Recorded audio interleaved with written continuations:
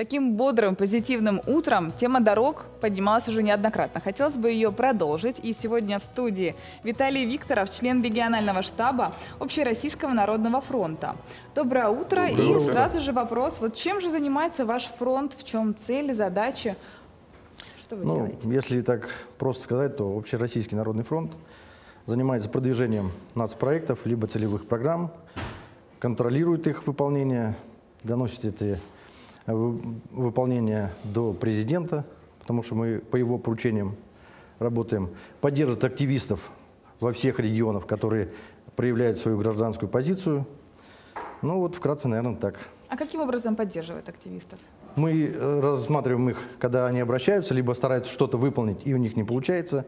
Тогда подключаемся мы и начинаем э, Содействовать. содействовать в этом, да, подключая все профильные организации. У вас такой громкий, красивый статус «независимый эксперт». Что это означает? Ну, это громко, наверное, сказано, да, независимый эксперт. Будем считать общественный эксперт, потому что, в принципе, мы смотрим так, как происходит. Вот я э, лично контролирую или курирую это выполнение нацпроекта «Безопасные качественные дороги» в Крыму, то мы смотрим глазами жителей, да, насколько они удовлетворены теми дорогами, которые ремонтируются. И вот насколько удовлетворены? Ну, А, я позвольте, я перебью. А вы сам водитель? да, я сам водитель. А давно водите? Ну, наверное, уже 30 лет больше. Ну, теперь к вопросу Ирины.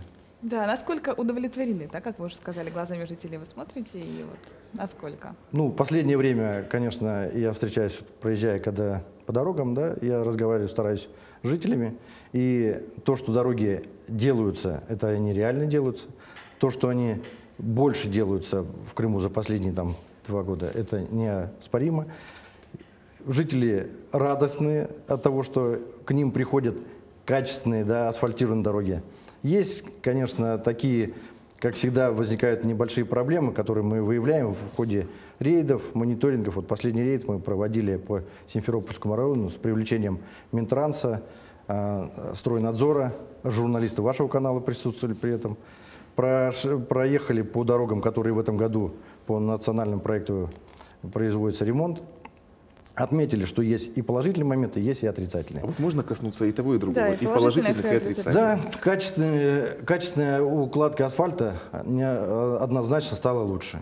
В городе, может быть, тоже стали замечать, стали больше или тщательнее ремонтировать ливневки и колодцы. Они стали более ровнее, по ним стали лучше проезжать. Э, По району мы заметили то, что не делаются обочины.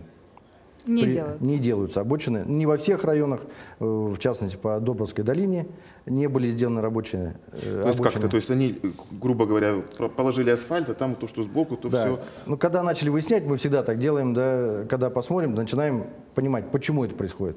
Выяснилось, что в тех заданиях с заказчиком обочин не было. Может быть, они решили, что они волшебным образом появятся сами, но так, к сожалению, не происходит. То Поэтому есть подрядчик виноват не был. подрядчик, учтили. мы думали, что это подрядчик не выполняет, но выяснилось, что это так. То есть теперь мы обратим внимание на... на Что нужно что доработать? надо, надо делать в тех заданиях полностью то, что должно быть выполнено, и тогда подрядчик это должен выполнить в срок и качественно. В данном случае не виноват. Ну, не виноват, посмотрим, как он закончит, да, все это дело, потому что есть нюансы с какими-то техническими вопросами, там, ливневки делают вот по району, делаются, ну, не так качественно, как в городе. А Поэтому в на чем именно обращаем. дефект качества? Дефект качества, ну, это в квалификации людей. Квалификация людей, на самом деле, наверное, федеральных э, дороги, когда делают, компании привлекаются более, ну, такие уже Маститые. давно маститы, да, то здесь приходится, объектов много выполняется, привлекают субподрядчиков. Они не всегда обладают теми качествами э, строительными, да, которые должны Вот именно ливневки, получается, кривые, э, нет, ливневка, вот, я привел пример, это вот в селе Доброе, да, там сделали через дорогу ливневку и подложили там, ее установили на камень, на кирпичи. Но мы обратили внимание Минтрац к этому, они сказали, что до 31 декабря, когда будет сдача дорог, все будет исправлено, в том числе и обочины, которые не сделаны, они тоже исправят. Мы будем следить, мы ежемесячно выезжаем вот по всем дорогам. Надо сказать, что в, этом году по нацпроекту «Безопасные качественные дороги» выполняется 63 объекта, в том числе 30, э, 18 объектов э, дорог по городу Симферополю и 36 по району. Это много или мало? Ну, это достаточно много для, для одного года, но надо понимать, что нельзя сейчас сбавлять темпы, потому что на следующий год будет еще такой же объем или даже может увеличиться. То есть к концу года И так- должны закончить, да, эти? Конечно, конечно. И я уверен, что будут закончены, потому что мы с августа ме- месяца начали ежемесячно выезжать на эти дороги. Все дороги просматриваются каждый месяц, поэтому отставание, так скажем, минимальное, да, они все выходят на финальную стадию. Посмотрим, как качественно они будут делать, сделаны к концу. Ну вот вы Декабря. э, перечислили много там недостатков, а все-таки вот давайте теперь сделаем уклон в хорошее. Что хорошего появилось? Какие положительные?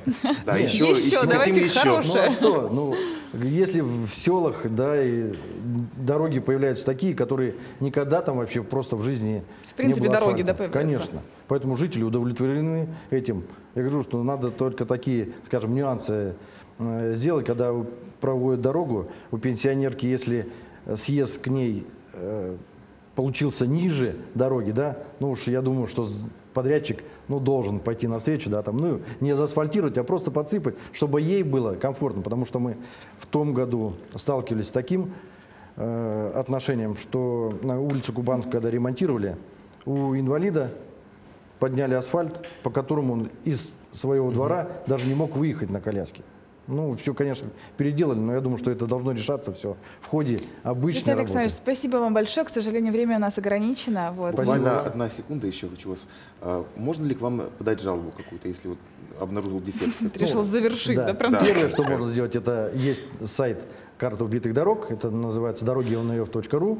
Можно туда выйти, там хорошая логистика, по- поставить, э, где точки, да, и определить тот участок, который надо отремонтировать. Также можно onf.ru есть сайт тоже, по которому надо выбрать свой регион, и там есть способ обращения. информацию. Либо телефоны, либо почта, либо есть такая называемая красная кнопка. Спасибо большое. Спасибо большое. Сегодня в студии у нас был Виталий Викторов, член регионального штаба Общероссийского народного фронта. Спасибо. Мы двигаемся дальше. И Тему автомобилей и дорог мы не бросаем. И следующий сюжет как раз об этом.